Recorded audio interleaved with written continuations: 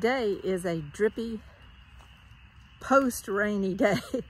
it rained yesterday so bad. We were under flash flood watches. It just poured and poured all morning. And when I went to bed last night, it was thundering and raining and raining. it just never stopped all day yesterday. Um, as I said, we were under flash flood warnings. And when my husband and I had to get out and run a few errands this morning, I was just shocked at the creeks and the ditches and how bad it was. And what was weird was a lot the water didn't seem to be going anywhere. it was just sitting there. So that's not good. Usually uh, it'll start draining and going downhill. Water levels out, so it'll start going downhill. But today it just kind of seemed to be sitting there. So that's not good. I'm hoping though that it'll all drain and be okay. This is Monday and they're calling for more strong storms Thursday. I don't know how much rain. I just know the storms are supposed to be strong and they're calling for bad weather. So um, I'm hoping all this water drains out of here before that comes. That being said, yesterday was a great day for me. Just peaceful. I knew it was gonna rain all day. It was raining before I even woke up. It was raining all day. So I just kind of had one of those days where you stay in slippers. You don't worry about your makeup or your hair and I did some cooking, I did some cleaning, I caught up on clothes. But what made me so happy was I had the time yesterday to just finally, because of the rain, because of not being able to do anything else, I had the time to just get my laptop out, the laptop that I have my spreadsheet on with all of my seeds. And I had time to just go through everything. Uh, I'm not finished. I'm not saying I finished a whole lot of things, but I did at least get that process going. I kind of narrowed down pole beans. Which pole beans do I want to try to plant? And I'm so excited to do pole beans this year. I've never been so excited to do pole beans. But I trimmed a few of my azaleas the other day. And some of the branches, because they hadn't been trimmed, I guess, in years, some of the branches were long and huge and they were thick and healthy. And I just decided to take those and make pole bean poles out of them and I was so happy. Let me show you real quick what they look like. They came out good. I also have a little second pile that's laying to the right of these pole bean poles. And that pile is like smaller little shoots that were coming out of the ground around the azaleas. Just small little shoots coming up out of the ground. But they were very bendable. They weren't stiff like a, a, a branch. They were very bendable and they were long. So I cut a bunch of those and I kept them because I'm thinking I might can weave them in and out of the tops of the poles, the other branches to kind of make it stand up and hold like a, a pole bean, uh, little teepee should or whatever. Uh, I'm not sure if I'm going to do teepees or if I'm going to do some type of a long um, strip. But one way or the other, these azalea branches are going to be pole bean poles and I love them. Let me show them to you. Now they're just laying here amongst all my boards for my shelves that I'm building. But look at all these poles. They're very, very long. They're thick at the bottom. This is pretty much the bottoms of them down here. I went ahead and left some of the branching on some of them, some of them that kind of flare out. And um, I just, there's, there's possibilities. There's possibilities of putting some of these different shapes together and kind of strengthen each other. I'm very excited. I'm very excited. But over here are the little shoots that were sticking up out of the ground and they're just um I don't know how to explain it but they're a little more pliable I can wiggle these and they move so I'm thinking I can weave them in and out of these big ones over here and um just kind of make pole bean poles out of all of them. I did a book review a while back about Will Bonsall's book about radical gardening and he's a very well-known gardener, seed saver, seed preserver up in Maine and I'll link that video below too if you have time and you want to look at that video. But he kind of is what is inspiring me to do this.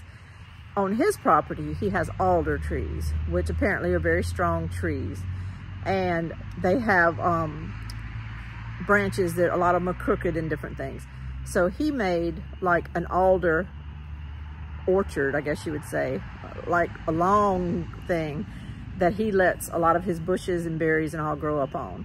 and it's it's strong and it'll hold the weight of all the berries and everything. So that's what's kind of inspiring me to at least try this. Why not try it? Over there under my shed, I have some T-post.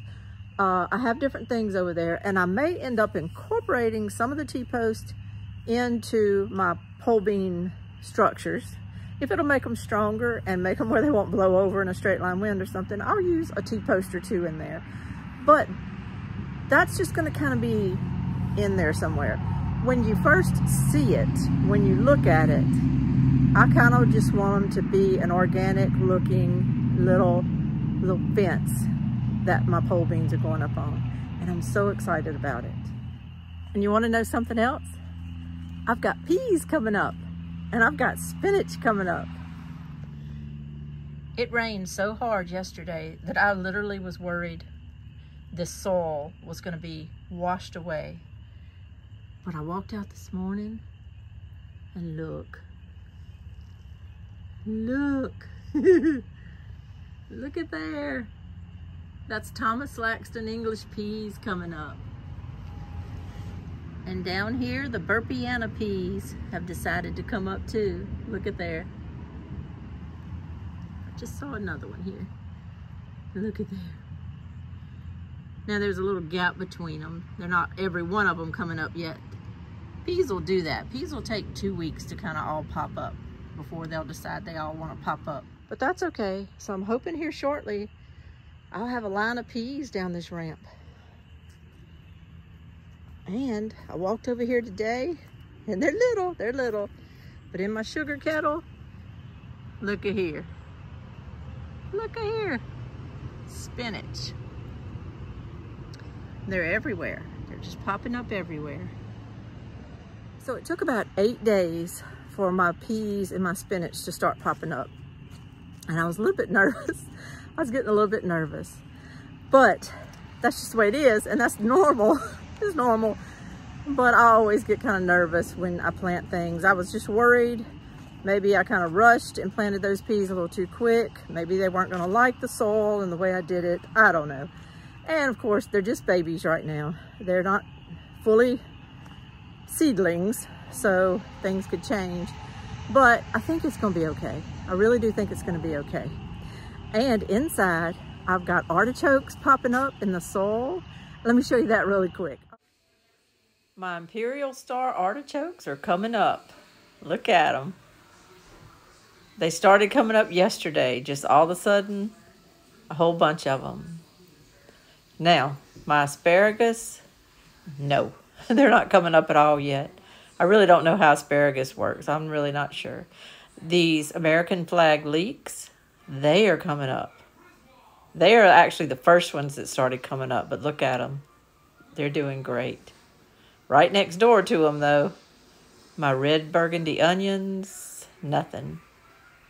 I'm not sure about onions either. So I'm new to all this. All four of these varieties are new to me. So we'll have to see how that goes. But one thing that happened yesterday in this rain event was I watched a video yesterday evening.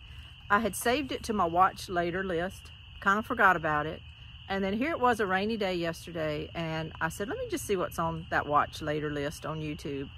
And I saw that video. It's an hour and a half long or so, maybe even more than that. And it was the Back to Eden garden video that probably everybody else has seen besides me because I think the video was about four years old. It wasn't a new video. And the man named Paul in the video that invented, I guess, this whole system, his proposal in the whole Back to Eden garden system is that this is how we are supposed to be growing things back to biblical times, the way God intended.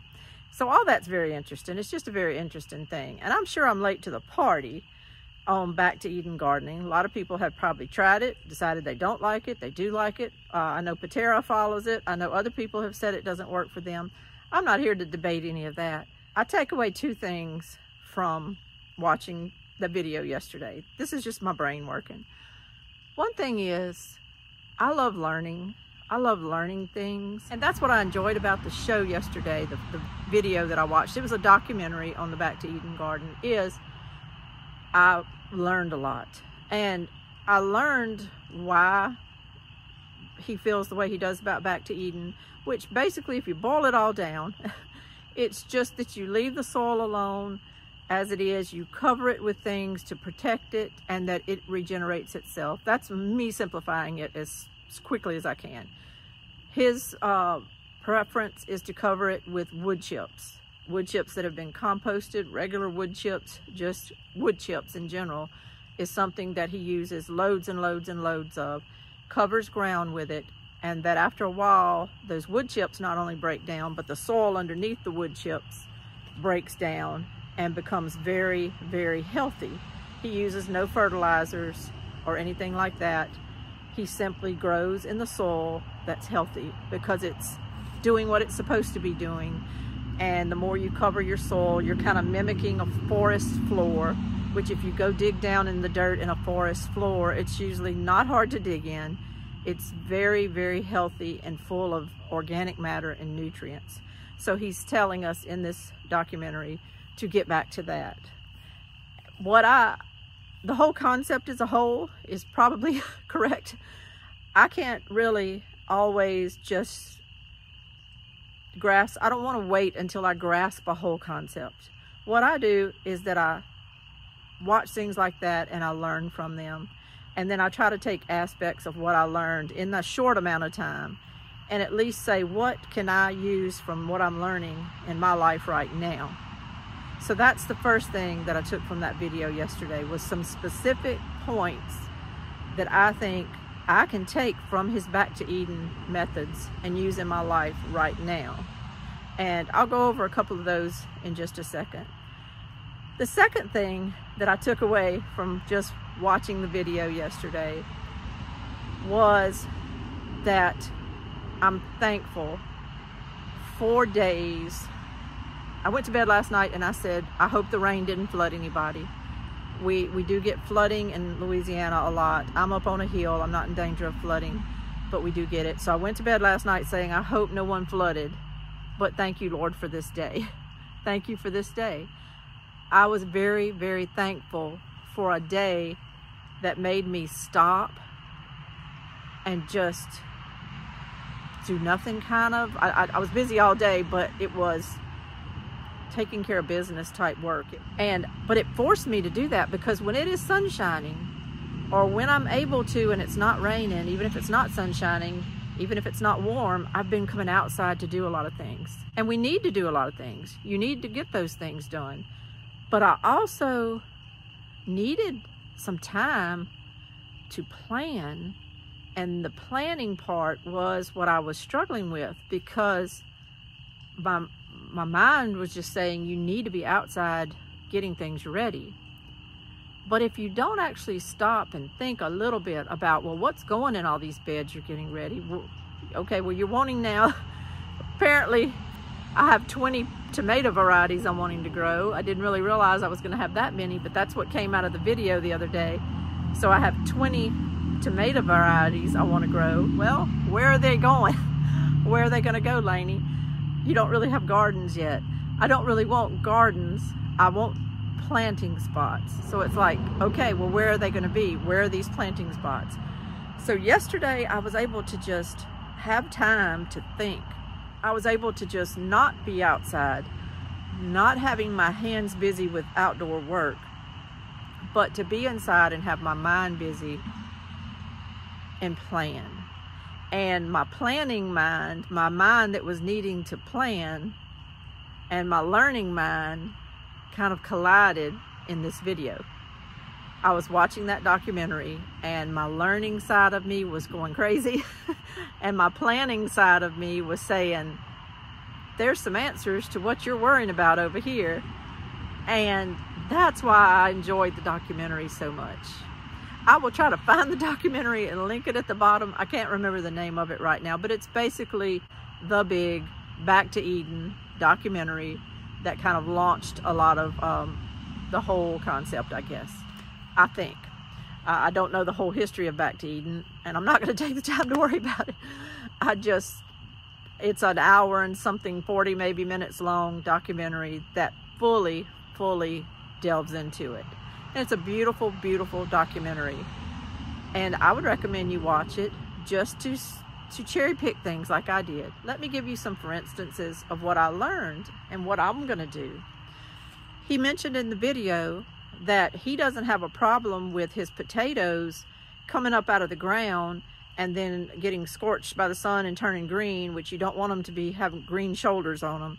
He said he doesn't have a problem with that because of the fact that he does, he covers his potatoes with dirt and soil like we all would do, but he also has wood chips then that he then puts on top of that bed.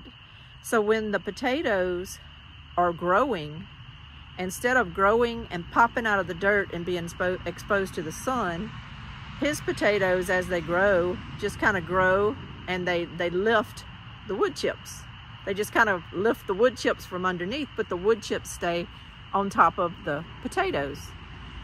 So, duh. I mean, it's really and truly that simple. It's that simple. And I really wouldn't have thought of that. I have been sitting here thinking, where am I going to plant my potatoes? I bought 10 pounds of potatoes the other day at a feed and seed store. I bought some Yukon Golds. So I was going to take my plow and just kind of plow up some furrows and plant the potatoes in those and then cover them with dirt and then come back when I need to and hill them up. Well, now I'm like, I may not even have to hill them up. If I plant the potatoes, I cover them with the soil, and then I put a layer, not really, really deep, but a couple of inches of wood chips on top of the whole bed. I'm gonna see if his theory works for me. If when those potatoes kind of grow and all, that, that the wood chips just kind of go up. And he just says he doesn't worry about his potatoes a lot. He just doesn't worry about them. And when their plants are ready and when he thinks they're ready to harvest, he just digs down in there and tests and then he takes them out. I'm gonna try that. I'm gonna try that why not? I have absolutely nothing to lose to try that. And also on the peas that I just showed you. Now, they're just, they're that big coming up out of the ground right now. They're little.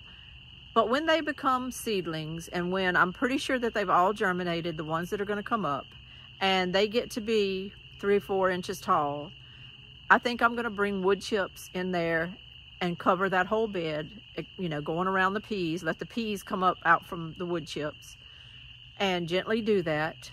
And that way I'm protecting that soil underneath. And also his big point, and this is what catches me when he does talk about this, and this is the learning that I tried to take away from that video yesterday, is that the wood chips protect the soil from needing watering all the time because the soil doesn't dry out since it's not as exposed to the elements. I could also, I have leaves coming out from everywhere in my yard. I could also kind of do this with leaves if I wanted to. And the leaves would, would sit on there and mulch as well. I could do a, a mixture or I could do one or the other, but I could do something is what I'm saying. So I think what I'm gonna do on this property is try my best to appreciate this black dirt I have up here, which I did not have at my old property. This dirt is so much more fertile than it was at my other house. But to keep it that way, I need to put things on it. When my peas are coming up, rather than just say, oh, I'll bring in more and more and more organic soil. If I, if I like growing there, I'm just going to keep putting organic soil on it all the time. Why not just keep the organic soil you have fertile? and moist and ready to grow things with. Why not? So that's what I'm gonna do. And I've showed you many times my wood chip pile. And I wasn't sure, I kept saying on my videos, y'all let me know what I need to do with all these wood chips. Because I've got a lot of wood chips. I've got a lot. I used the end of this pile to put around my crepe myrtles and to put along the front of my house because of my rain coming off my roof. I've used them for that, but now I know what I can do with the rest of them. Now I know I can use them to protect all this valuable soil that I have on this property. I can use them to have it break down right on top of my soil and in the coming years just have even better soil better and better soil year after year. That's what I learned from that video. What I'm just gonna try to do is take some things that I learned from that video. And on this new property that I have, which as you can see, I do have leaves and I do have woods. I do have a little bit different climate than I did at Camp Joy Farms. And I'm gonna try to make the best of it. I just kind of want to take everything that this property offers me. The open spaces, the trees, the dirt, the leaves, the azalea bush branches. What do I have?